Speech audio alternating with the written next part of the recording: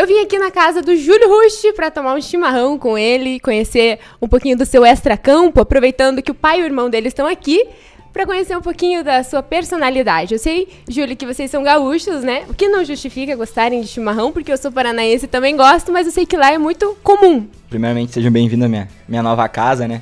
Até ano passado eu estava no alojamento Couto Pereira. Sim, lá é comum tomar chimarrão, até a gente brincou antes da, da entrevista aqui que meu pai levanta tomando chimarrão antes de, do almoço ele toma chimarrão à tardezinha, à noite e vai assim vai. Com certeza. Não é só o chimarrão, lá tem é comum churrasco também. Um dia eu fui para casa, cheguei era meia-noite em casa, eu tava me esperando com churrasco, daí eu, aí não tem como não. Então a tradição lá é, é bem forte, independente do, do que for, a, a tradição no, no, Rio Grande do Sul é bem forte em todos os aspectos assim. Como é o Júlio Rush como filho? Ah, uma pessoa legal. Eu acho que não tem o que eu reclamar.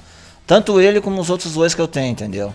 Mas esse aí em especial porque ele tinha sete anos ele falou, pai, eu quero ser jogador de futebol. Então tá, filho. Ele botou na cabeça que queria ser isso e hoje está sendo gratificante.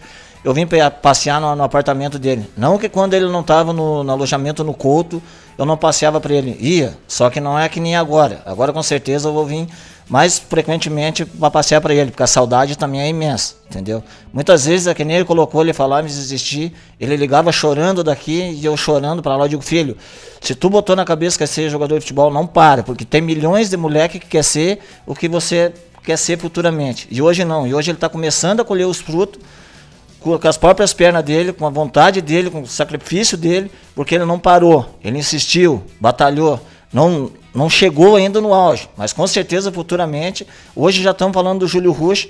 Na minha cidadezinha lá, o Júlio Rush saiu um molequezinho. Mas hoje não. Hoje é a alegria de um, de um povo lá, muito querido, todo mundo torce por ele.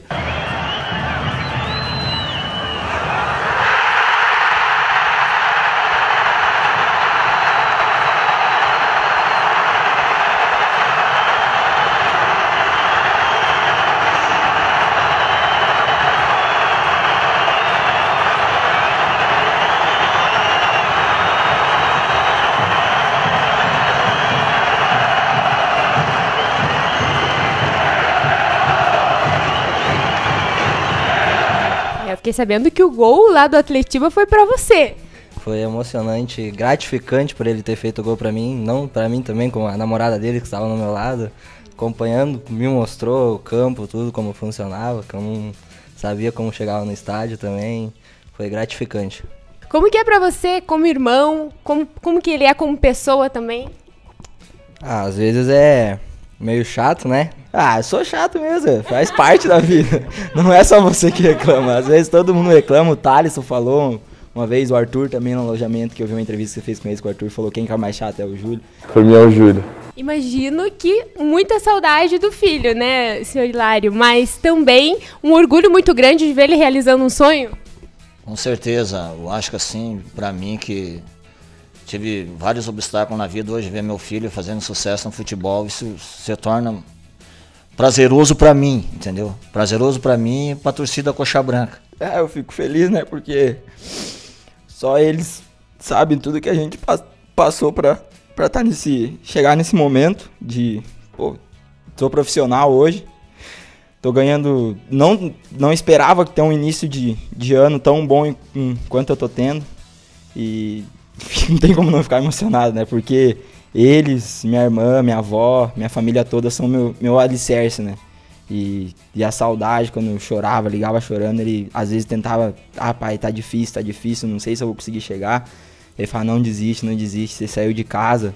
Aí tem as coxas toda ferrada aí de tá levando a gente pra cima e pra baixo quando tava jogando na escolinha no Rio Grande do Sul e, e é gratificante isso e, e eu tô conseguindo retribuir isso, né?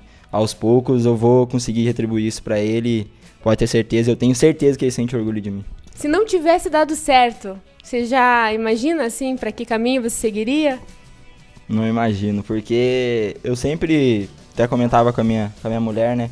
Que também me ajudou muito aqui, em, aqui em Curitiba, tanto a respeito da saudade, né? Que era uma forma de eu contornar essa saudade com ela, né? Ela me dando conselhos, me, dando o equilíbrio que eu, emocional que eu sempre, sempre precisar, precisei, né? Falei, não, tem que virar jogador de futebol profissional, tem que chegar, tem que chegar pra porque não foi à toa que meu pai fez tudo pra, pra eu estar onde eu tô hoje, né? E eu tenho que recompensar isso pra ele. Pra você definir uma qualidade sua que você aponta aí pra gente. Ambicioso, né? Ambicioso, eu sou um cara ambicioso, eu sei muito bem ó, onde eu quero chegar, então eu sou tipo aqueles cavalos de corrida, né? É cegar, cego naquilo que eu quero chegar, né?